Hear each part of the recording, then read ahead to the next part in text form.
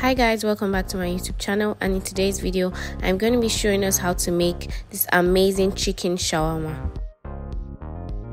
To start things off in a heated pan add in your oil. Once oil is properly heated add in your chicken thighs. I always use chicken thighs because they are the juiciest part of the chicken. Fry until lightly colored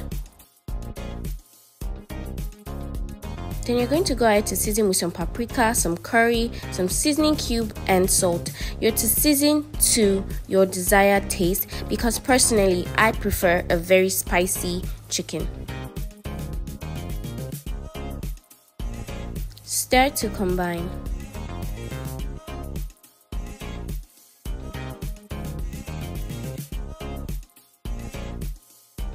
Stir occasionally to avoid the chicken burning.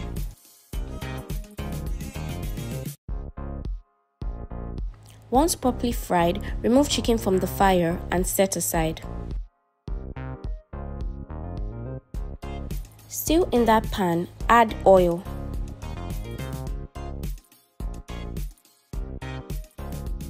Once oil is properly heated, add in your sausages.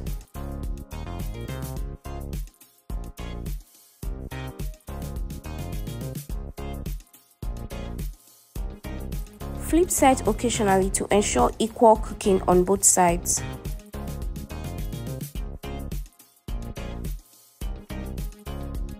Once fried properly on both sides, remove from the fire and set aside.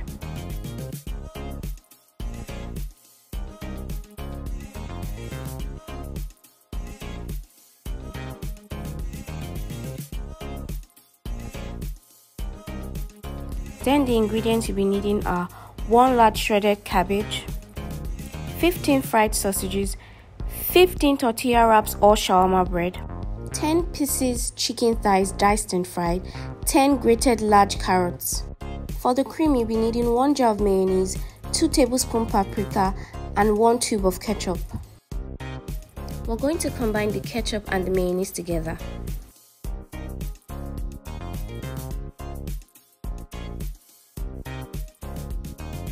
For some heat, we season cream with some paprika.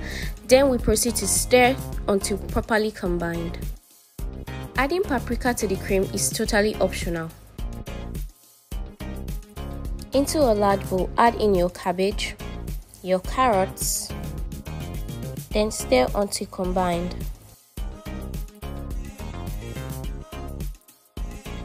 Proceed to add in your cream and combine until each one of the cabbage and carrot mixture is fully coated with this amazing cream.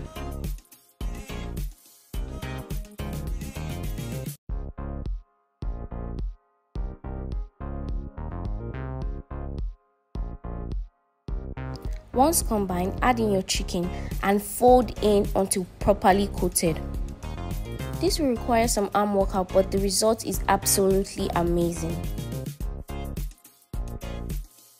Now this is the fun part. Lay out your shawarma bread on a tray and fill with your desired amount of cabbage mixture.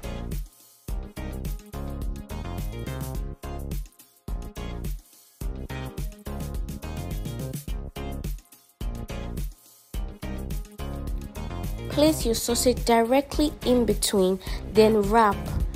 Fold it inwardly after placing your sausage, you can decide to add in more cream if you like a creamier shawarma. Then you just repeat the process over and over again. If you've gotten to this part of the video, do not forget to subscribe, like, and share this video with your friends and family. Repeat the same procedure until you run out of shawarma bread. You can decide to put two sausages according to your preference.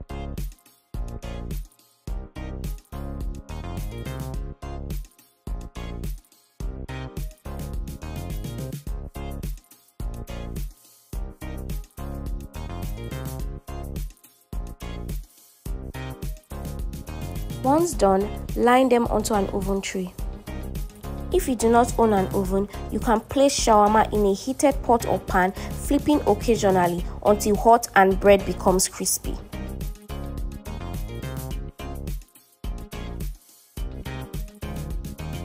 Once shawarma bread are lined, bake on medium heat for 10 minutes. And there you have the easiest and most delicious chicken shawarma you can make at home. I kid you not when I say this shawarma is absolutely tasty, juicy, and it checks all the boxes that shawarma should. Do not forget to tag us on Instagram and TikTok at underscore Ninsola in the kitchen when you recreate this amazing recipe. And kindly do not forget to leave a comment down below on what recipe you would like me to drop next. See you in my next video. Enjoy!